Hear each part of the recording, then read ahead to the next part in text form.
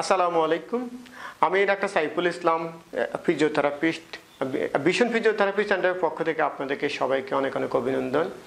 আজকে আমরা শিখব আমাদের পায়ের বুড়ো আঙ্গুলের হচ্ছে নোক অনেক সময় কি নোকের কোনা, অনেক সময় আমাদের পায়ের আঙ্গুলের স্কিন ব্যাথ করে মাংসের উঠে যায় এবং সেখানে প্রচুর পরিমাণে পেইন হয়। এটা হলে আসলে আমরা আসলে কি নিয়ে করব? এবং বাসায় কিন্তু এভাবে আমরা এই সমস্যাটার চিকিৎসা করব, সেটা আমি আপনাদের সাথে আলোচনা করব।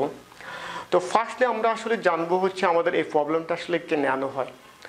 এটা হওয়ার হচ্ছে সবচেয়ে বড় কারণ হচ্ছে আমরা অনেক সময় যে নখ যখন আমরা কাটি তখন সেটা আমরা কি ফলে আমরা কাটি না। এছাড়া হচ্ছে অনেক সময় আমরা নখ কাটতে কাটতে একেবারে খুবই ছোট করে ফেলি, এটাও আমাদের একটা কারণ। আর অনেক সময় দেখা গেছে আমাদের যে জোতা পরি আমাদের ওই জোতাটা আসলে সঠিক না, ভালো না। আমাদের একদম আমাদের পায়ের সাথে কী হয়, সঠিকভাবে ফিটিং হয় না। যার জন্য কিন্তু আমাদের এই সমস্যাটা হতে পারে। কিংবা হচ্ছে আপনি পায়ে কোনোভাবে ইঞ্জুরি হলেন, আঘাত পেলেন, বিশেষ করে প্লেয়ারদের এই সমস্যাগুলো হতে মানে পারে। সো অনেক সময় কারও কারও দেখা জেনেটিক্যালি ভাবে নোক আসলে কার্ভ থাকে, তো তাদের ক্ষেত্রেও একটু রিস্ক থাকে। তো আমরা এটা আসলে কেনানো হয়, আমরা কারণ সম্পর্কে জানলাম।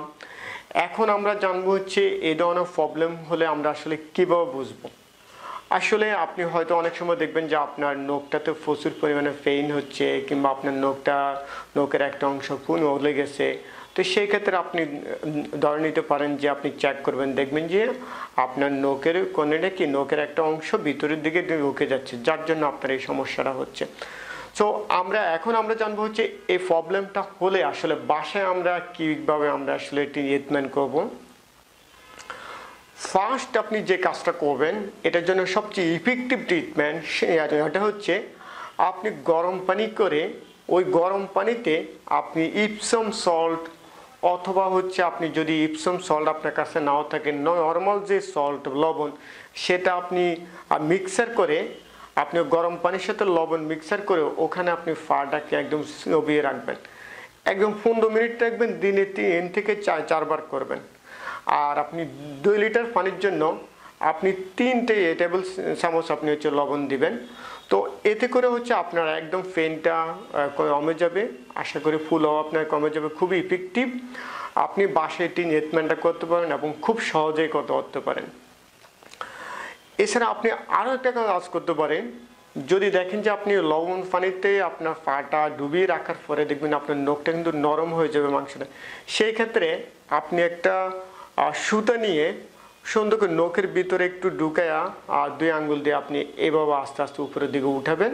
তবে খুব বেশি ভিতরের দিকে আপনি নিয়ে নেবেন না এবং আপনার সুতাটা যেন পরিষ্কার থাকে।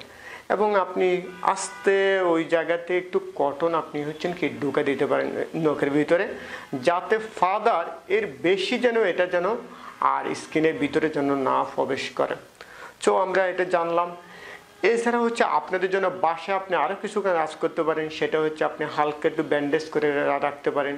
এবং আপনি হচ্ছেন যে জুতাটা পরবেন সে এটা যেন আপনার কি হয় যায় লু, লুজ হয়। এবং যদি এরপরেও দেখেন যে আপনার কাছে ইমপ্রুভমেন্ট হচ্ছে না, সেই ক্ষেত্রে আপনার পেইন হচ্ছে, সেই ক্ষেত্রে আপনি হচ্ছেন কিছু ওটিসি ডাক বিশেষ করে হচ্ছে প্যারাসিটামল আপনি খেতে পারেন। এবং পাশাপাশি কিছু ওটিসি ক্রিম বিশেষ করে অ্যান্টিব্যাকটেরিয়াল ক্রিম আছে ক্রিমও আপনি সেখানে দিতে পারেন। তবে যদি দেখেন যে আপনার আসলে পার আঙ্গুলটা ইনফেকশন হয়ে গেছে, সেই ক্ষেত্রে আপনি সন্দেহ করেন। সেই ক্ষেত্রে আমি বলব যে আপনি, আপনার হোম ট্রিটমেন্ট বন্ধ করে আপনি দ্রুত ডক্টরের কাছে যাবেন। কারণ বিশেষ করে যাদের ডায়াবেটিস আছে, তাদের জন্য কিন্তু আপনি ইনফেকশন হলে আপনার জন্য সমস্যা, সেই ক্ষেত্রে অবশ্যই কেয়ার নেবেন। এটা আপনার জন্য খুবই গুরুত্বপূর্ণ। এছাড়া হচ্ছে ফিজিওথেরাপিস্টের কাছে গেলে সেখানে আপনি লেজার দিবেন। লেজারটা কিন্তু খুবই ইম্পর্টেন্ট আর কোনো কিছু হিলিং হতে বা গা হিলিং হতে লেজারটা খুব ইফেক্টিভ এনেও আপনার হাতে লটস অপশন আছে। আপনি আপনার ডক্টরের কাছে যাবেন, আপনার ডক্টরে আপনাকে অপশনগুলো দেখাই দেবে।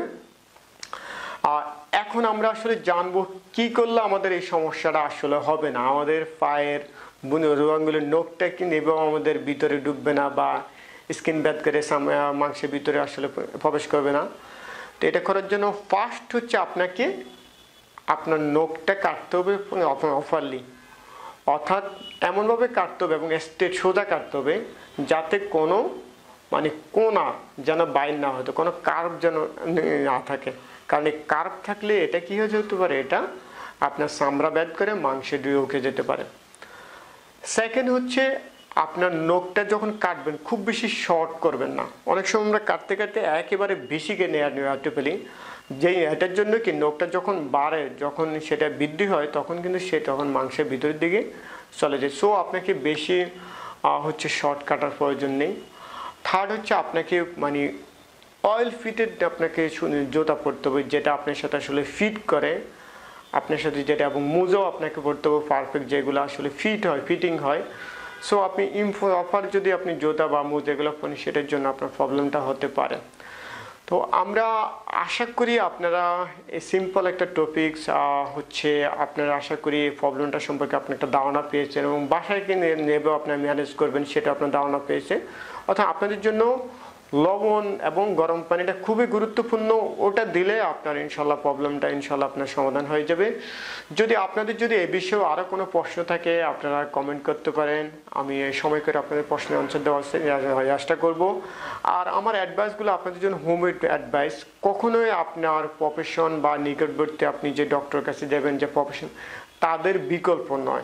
আপনি সরাসরি যে হেলথ প্রফেশনের কাছে যাবেন তার অ্যাডভাইসগুলোই আপনার জন্য প্রদান তো আপনারা সবাই ভালো থাকেন আল্লাহ হাফেজ আসসালামু আলাইকুম।